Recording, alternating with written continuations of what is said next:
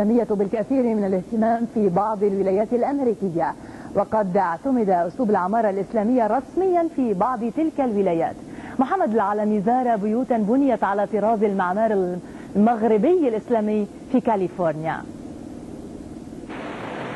نحن هنا لسنا في مدينة فاس المغربية أو مدينة غرناطة الأندلسية ولكن في قلب ولاية كاليفورنيا الأمريكية.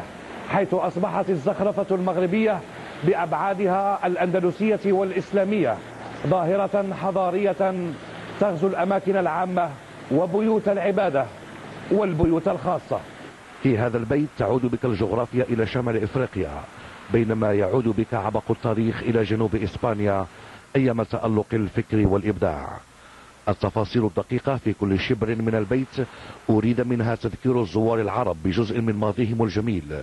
لكن أيضا لتذكير الأمريكيين بأن العرب أفضل بكثير من صورهم النمطية في الثقافة الشعبية الأمريكية. الحقيقة بيتنا هو هدية لأصدقائنا الأمريكان لكي يتذوقوا معنا.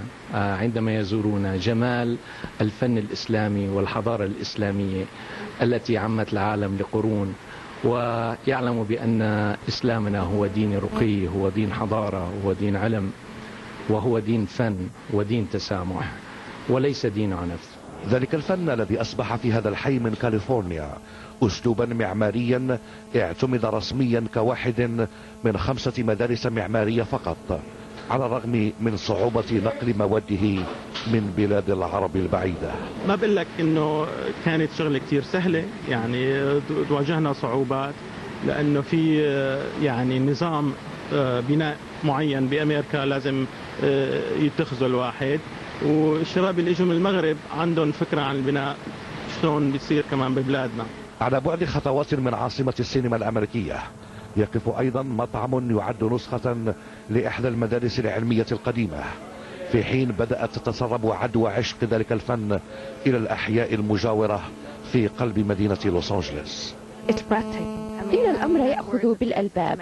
من ضيوف ما وصفه بالساحر. إنهم يضعون أيديهم على أفواههم من الإعجاب. سكان هذا الحي أيضا في مدينة هيوستن.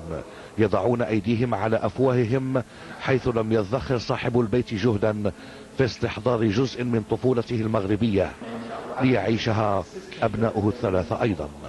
الاهتمام المتزايد لبعض الأمريكيين والعرب الأمريكيين بالوجه المشرق للإبداع المعماري العربي الإسلامي بين واشنطن ولوس أنجلس وهنا في هيوستن. لا يسر العين فحسب بل قد يسهم أيضا في تخفيف التوتر الحضاري بين أمريكا والعالم الإسلامي. أصبحت مشاهد الزخرفة والمعمار المغربي الأندلسي في الولايات المتحدة من هذا المسجد الذي أصبح أبرز معالم مدينة أنهايم في ولاية كاليفورنيا إلى بيت أحد العرب الأمريكيين من المشاهد المألوفة بشكل متزايد في الولايات المتحدة. عندما جاءت فكرة أن, أن نبني منزلنا بأنفسنا كانت الفكرة مشتركة بيني وبين نزار أن يكون بيتنا عربيا. يحمل التراث العربي والروح الإسلامية وفي نفس الوقت يكون آية في الإبداع في في في لوس أنجلوس. وبالفعل أصبح البيت آية في الإبداع. استحضر فيه الفنانون قطعة معمارية جميلة من عبق التاريخ الإسلامي بل أصبح هذا الطراز من بين خمسة أساليب معمارية فقط سمح بها هنا في هذه البقعة من مدينة أورفايم الكاليفورنية. ومن كاليفورنيا إلى ولاية تكساس. تحول هذا البيت في مدينة هيوستن إلى مصدر لفضول الجيران والصحافة المحلية وهو فضول كان متوقعا بل مطلوبا من فكرة إنشاء البيت على هذا الطراز في المقام الأول. الحقيقة برزت الفكرة من رغبتي الأصيلة من أن ينشأ أولا أطفالي في وسط معماري مغربي أصيل ولكن أيضا بعد تطور الفكرة برزت الرغبة كذلك بأن أقرب المعمار الإسلامي المغربي إلى الشارع الأمريكي حيث أن هذا البعد الحضاري فعلا لا لا يوجد في في الثقافة الشعبية الأمريكية. كما أن إثارة الحوار الحضاري مع الأمريكيين أحد الأسباب التي تدفع المسؤول الأول عن تسويق هذا الفن للأمريكيين.